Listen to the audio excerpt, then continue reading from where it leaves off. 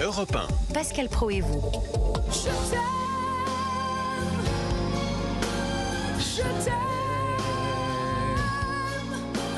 Il vient nous voir de temps en temps à CNews, mais euh, deux salles, deux ambiances. hein. Vous avez vu, Europe 1, c'est un peu différent.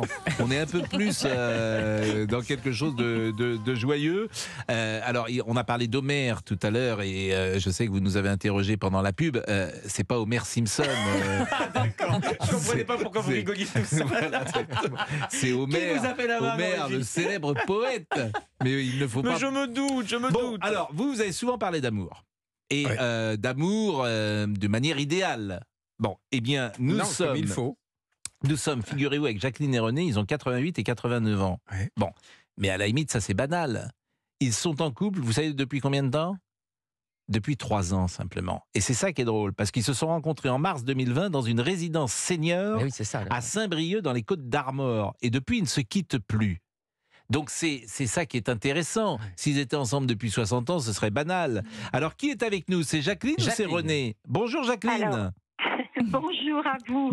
Alors, euh, je suis Jacqueline et René, mon compagnon bien-aimé, est juste à côté de moi. Bon alors ça c'est formidable parce que j'imagine que euh, René n'est pas votre première histoire d'amour, Jacqueline à 86 non, ans. non, c'est pas la première. Disons que c'est la seconde, mais c'est peut-être la meilleure parce que pour moi, c'est une véritable révélation d'avoir rencontré René.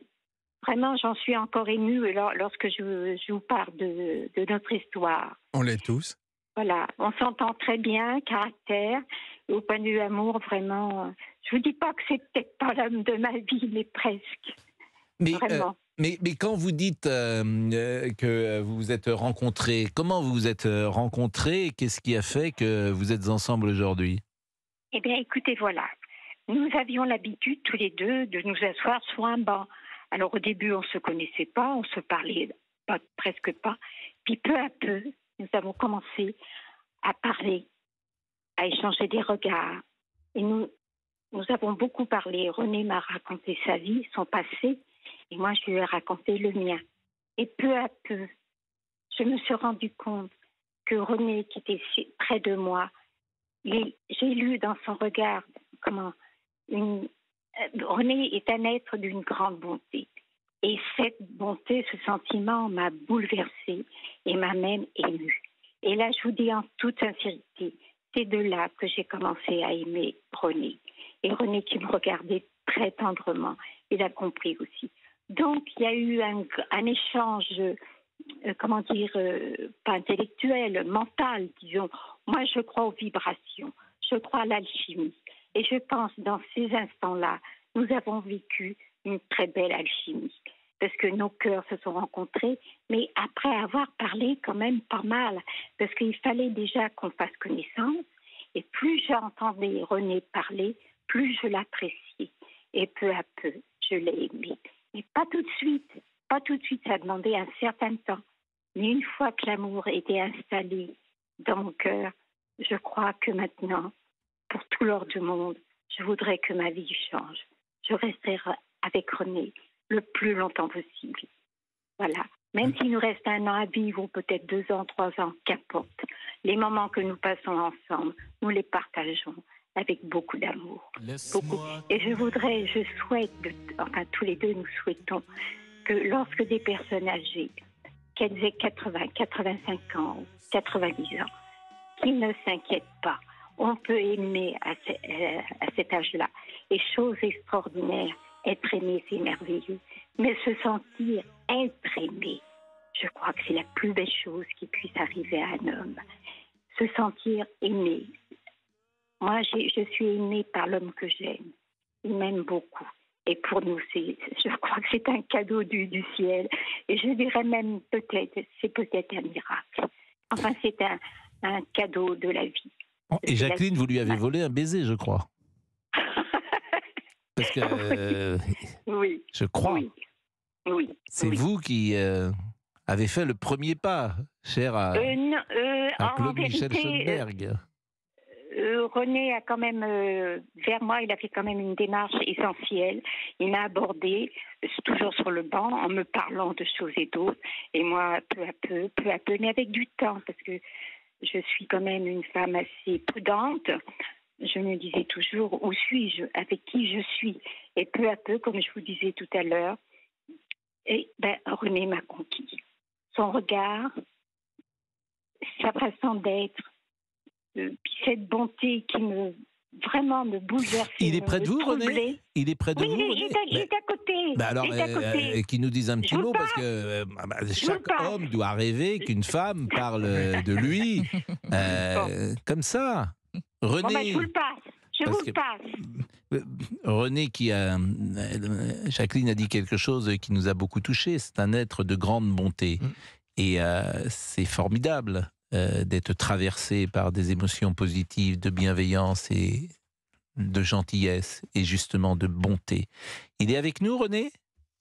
Je vous écoute, monsieur. Bonjour. Bonjour René, d'abord je vous félicite et puis euh, j'imagine que les mots que vous avez entendus de, de Jacqueline vous ont euh, touché. Ben, c'est- certain. Pour, vous- pour vous dire que je, je suis un homme vraiment comblé. Et euh, vous êtes euh, donc euh, en- ensemble depuis trois ans, euh, vous avez 88 et 89 ans, et pardonnez-moi peut-être d'être indiscret, mais est-ce que lorsque vous étiez dans cette résidence, vous étiez peut-être au départ dans deux appartements différents? Est-ce que vous avez décidé euh, C'est toujours le cas, c'est toujours le cas. donc vous- Chacun a, a son studio Mhm. et ils sont tous mais nettoyés. Bah, je vous remercie beaucoup, René. Je vous remercie beaucoup. Alexandre Jardin Merci, veut peut-être. euh, Oui. D'abord, je voudrais remercier Jacqueline pour la beauté de, de son témoignage qui était d'une. Mm. C'est- proprement bouleversant de vous écouter et vous remercier aussi pour la beauté de votre langue. Je crois que tout le Ah, monde a ah, été ça, frappé par la beauté de, de- de- des expressions, des tournures, mots, ouais. par la finesse Mm. de votre langage. Et ce que j'ai entendu, c'est que vous êtes une femme qui avait fréquenté les livres. Et je pense que pour aimer aussi finement, aussi joliment, aussi subtilement, à un moment ou à un autre, il faut fréquenter la lecture. Il faut fréquenter les gens qui, qui dépiotent, qui, qui, qui vont au fond, euh, euh, au fond de la subtilité des sentiments. Et chez elle, il y avait ça. Jacqueline, je vous remercie euh, vraiment grandement. Jacqueline et René, euh, vous avez de l'espoir Vous voyez, 88 et Non, mais ça m'a 89 ému. ans. hein. Ça, Bien on, dirait, sûr. on dirait deux âmes sœurs, c'est vrai. Ah oui, Bien sûr. Ah, ça c'est une Non, très belle magnifique. expression, l'âme sœur. Il oui. faut trouver son âme sœur. Et euh, notre amie Céline Géraud, qui vient de rentrer dans ce studio, peut-être l'a-t-elle trouvé sans Oui, doute. je pense, je pense l'avoir trouvé. Vous savez, tout ça, tout Bah, ça, je tout ça est pense, fragile, mais j'espère euh, avez nous raison. écoute, en tout cas, cette poésie, en tout cas, cette douceur, cette allégresse fait du bien dans cette période un peu tourmentée. Le temps s'arrête quand je vous écoute, Pascal. Oh. Pourtant, il file à toute allure. Il est déjà 12h55 et dans 5 minutes, je vais devoir, je vais devoir délivrer l'information. Et elle est riche encore une fois aujourd'hui. On parlera évidemment de la colère des agriculteurs. Vous vous en Bien doutez sûr, bien. bien On sera sûr. sur le terrain. On sera avec le vice-président de la FNSEA. Mm. Et euh, nous irons, tiens, euh, parler de ce théâtre de Guignol qui va fermer au Champ de Mars Oui, on pendant en a les Jeux parlé Olympiques. la semaine dernière. Voilà. C'est Eh on vraiment sera- euh, dommage. Voilà. Bah, je remercie Alexandre Jardin. Euh, évidemment, vous pourrez lire, euh, Faire lire les les nuls nuls. et puis euh, quoi lire chez les écrivains malfamés. Par exemple, on peut lire Léon Daudet. On le lisait euh, durant la pause et c'est absolument d'une drôlerie et d'une férocité et d'une méchanceté. Mais Je vais prendre votre livre, Alexandre Jardin, je vais le prendre. Tiens, Bon, il est euh, pour de- toi. Il n'y a pas de crayon de couleur qui est donné. qui est donné avec, hein. Attention. Non, il n'y a pas. Bon, je vais remercier évidemment Florian Carassou-Maillan. Je vais remercier aujourd'hui euh, notre ami Fabrice Lafitte n'était pas là. Il était euh, remplacé euh, Par DJ Juju. Voilà, par DJ Julien. Juju, euh, Julien, euh, qui sera là, euh, quoi, qui était là plus Ouais. exactement. Et puis, euh, bah, je vais vous remercier, Alexandre, c'est toujours un plaisir. Jadis, d'ailleurs, vous présentiez des livres, je crois, pour Canal. Il y avait une rubrique Ouais, que vous aviez ouais. fait dans les années 80, je Ouais. pense. Je sais pas si c'était Philippe Gildas le midi ou pas, où, Oui. où vous présentiez des, des folios, je crois, à l'époque, régulièrement. Et j'aimais faire lire les, les autres écrivains.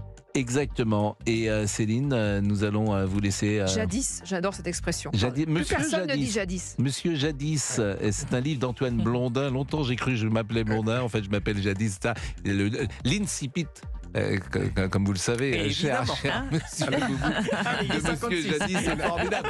Il est 12h56, les amis. À demain. Pascal Pro, de retour demain entre 11h et 13h sur Europe 1.